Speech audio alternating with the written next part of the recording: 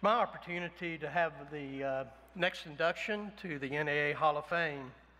You know, during our life, we often have someone that becomes a true friend.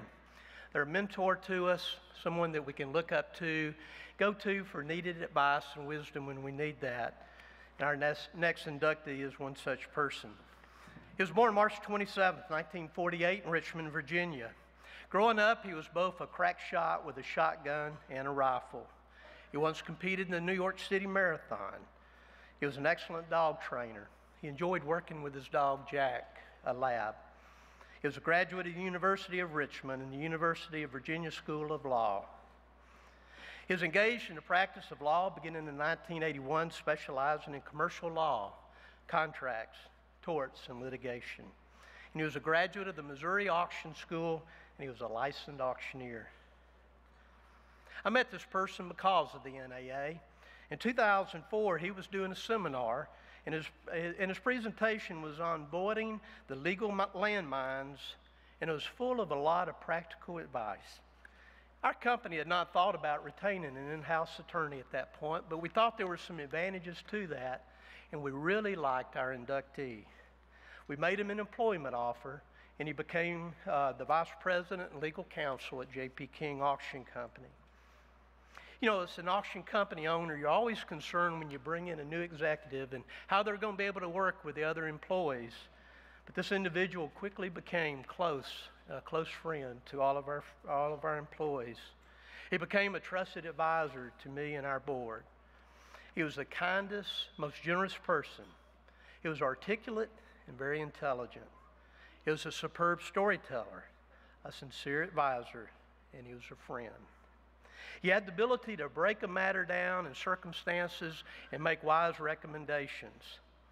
Our inductee assisted in uh, proposed auction law in a number of different states.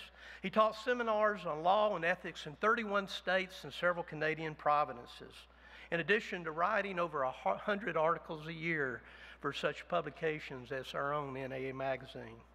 His columns, as well as his seminars, dispense practical legal advice on key auction issues and uh, he spiced it up with a lot of folksy humor and special insight to human nature. He was a superb storyteller. He was a sincere advisor. He was a friend to auctioneers. He often took calls, answered questions, and gave advice at no charge. He taught legal classes at the Reppert and Mendenhall Schools of Auctioneering. He was interviewed by numerous media on auction law and issues by magazines such as the Wall Street Journal, the Los Angeles Times, Money Magazine, Forbes, NB, NBC. In 2004, the National Auctioneers Association awarded him his President's Awarded Distinction. And as a columnist, he never minded taking the heat that his articles often dispensed. He was steadfastly adamant in promoting auction integrity inside the auction ring and within our auction industry. His weekly columns were peppered with a lot of uh, folksy background. Now, many people could turn a story of hunting with dad into a lesson about auction law. He actively supported his seven children in their endeavors. He spoke of the wisdom he received from his parents and often talked about his ambition to educate Cousin Junior, while also admitting that he learned a lot of life's lessons from him. He was an avid Alabama football fan. The Roll Tide was evident in everything he did. My brother Scott King tells a story about one time getting a message, and he called this individual in and said he had a message, an important message that he needed for him to listen to. Thinking that he had a deep legal issue, he came in with his legal pad and his pencil, carefully leaning over the phone so he could listen very carefully. My brother Scott knew he had him hooked at that point. He played the message, and our inductee just giggled and had him play it over again, giggled excitedly every time. See, the message was from Alabama head football coach Nick Saban that was talking to our company about a pro- property he was interested in selling. He was often seen with his nice gray suit and his Alabama ball cap. When he first came with our firm, I had him go down to the Alabama Gulf Coast with me on a meeting, and we met with a prominent businessman at his home on Mobile Bay. And as we walked to the front door, I looked at him, and he had on, once again, that nice gray suit, and to my horror, had on that red, red Alabama ball cap. I quickly asked him if he would take the cap off, which he did, uh, but I soon realized that that was just a part of who this person was. Many of you figured out right now that I'm talking about Steve Proffitt. His advice often rings through my ears today. I remember the day when Steve came to tell me that he'd been diagnosed with cancer. He was very distraught. He was concerned for his children and for his family. And Steve was a very private person, and he didn't want others to know. He told me that I regularly hear from a lot of people, and I appreciate their expressions of uh, concern and hope, but he just didn't like to discuss the details of his situation. He explained to me that it upsets him and it pulls him down too much to think about it, and that he'd prefer to keep his medical condition private. So we honored his request. His fears came to fruition as the cancer progressed. He once wrote to me that I'm fighting a disease that is constantly working to kill me as my doctors and their medicines constantly work to kill it. One will prevail and one will fail. This is the battle of battles for me. It's a battle of my life for my life. And all I can say is that I will not give in and I will not go quietly. And I'm honored as hard as I can, or I'm working as hard as I can to give my doctors every chance to bring me home a winner Oh, I want that so very much. What started out as follicular cancer transformed into an aggressive lymphoma and transformed yet again into acute leukemia.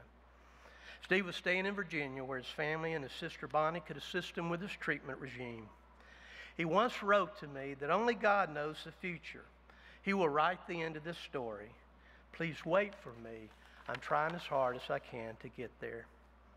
When it became apparent that Steve wouldn't make it, he wanted to come back to Alabama to be with his family and his children.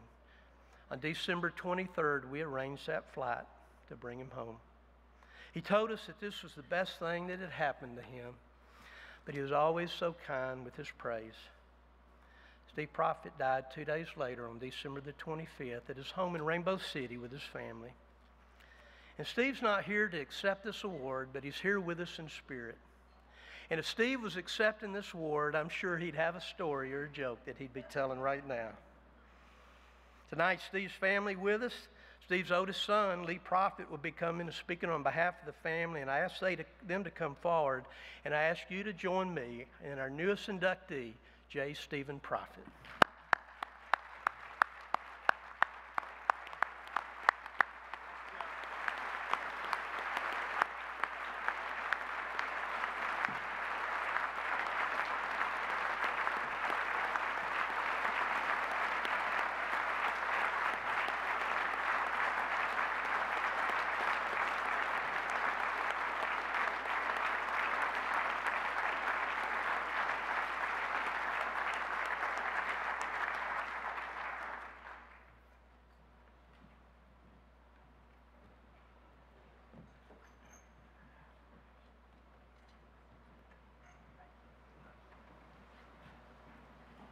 Get a picture here.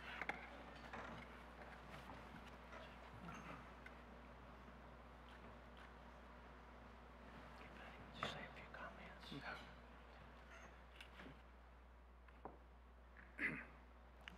Thank you for the kind words, Craig. Uh, I know my father would be uh, extremely honored. Uh, he definitely loved the auction industry very much, and uh, I know he enjoyed every opportunity he had to come to the uh, NAA conventions and, and speak to everyone. So, on behalf of my, uh, my family, thank you all very much.